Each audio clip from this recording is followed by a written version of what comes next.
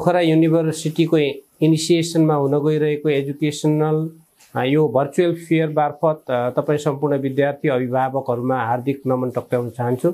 Pursuing excellence together be professional and serve the nation भन्ने स्लोगनका साथ नलेज क्यारेक्टर एन्ड सर्भिसलाई आफ्नो मोटो बनाएर सन् उन्नाइस सय अन्ठानब्बेमा स्थापित यो Gandaki college of engineering and science सार्वजनिक शैक्षिक गुठीद्वारा सञ्चालित सामुदायिक कलेज हो।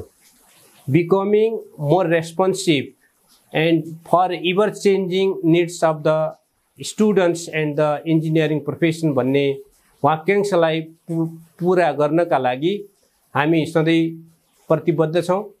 यस कलेजका शैक्षिक उपलब्धिहरू भौतिक सुविधाहरू यसका विद्यार्थीहरूलाई दिन सक्ने ल्याबको त्यस्तै लाइब्रेरी विभिन्न अतिरिक्त क्रियाकलापहरू फ्याकल्टिजहरूका बारेमा यो भर्चुअल टुरबाट तपाईँहरू लाभान्वित हुनुहुनेछ भन्ने अपेक्षा राखेको छौँ।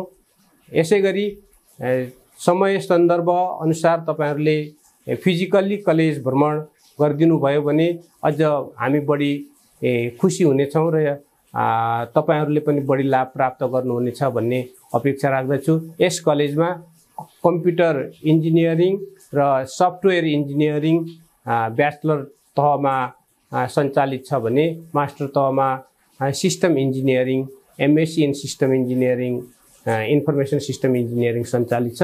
यहाँहरूले आवश्यक जानकारीका लागि कलेजमा सम्पर्क गर्न हुन सक्ने सक्नुहुनेछ र कलेजको वेबसाइट भिजिट गर्नका लागि म अनुरोध गर्दछु। हस् धन्यवाद।